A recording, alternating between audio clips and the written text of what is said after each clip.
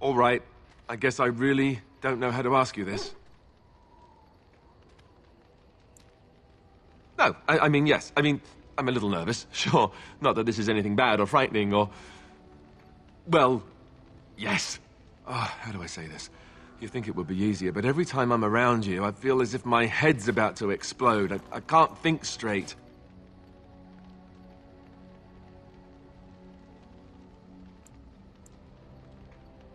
Here's the thing. Being near you makes me crazy. But I can't imagine being without you. Not ever. I don't know how to say this another way. I want to spend the night with you, here, in the camp. Maybe this is too fast. I don't know, but I know what I feel. I wanted to wait for the perfect time, the perfect place, but when will it be perfect? If things were, we wouldn't even have met. We sort of stumbled into each other. And despite this being the least perfect time, I still found myself falling for you, in between all the fighting and everything else.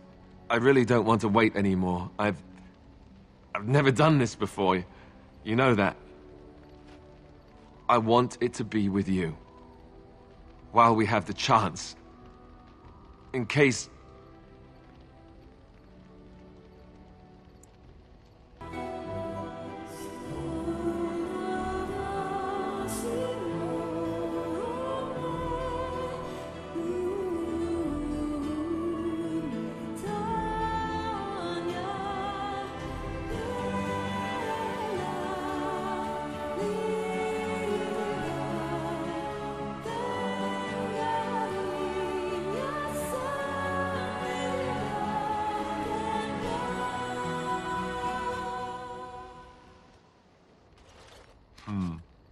You know, according to all the sisters at the monastery, I should have been struck by lightning by now.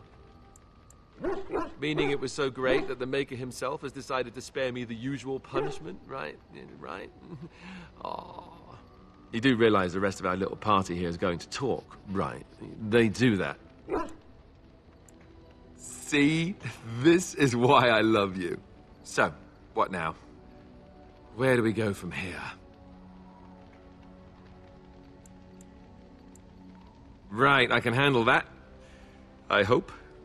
Ah, Before we go, have I told you that I love you? I did. Well, it won't kill you to hear it again, will it? See? Was that so hard?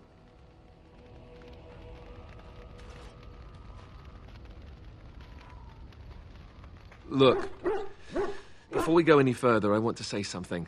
I appreciate that you brought me to see my sister, and that you, well, that you were there to talk me down after we left.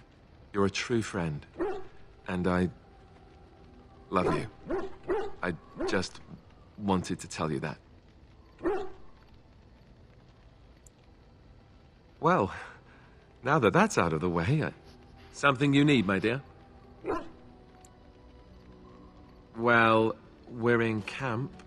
Now's as good a time as any to talk, right? What can I say? Your wish is my command.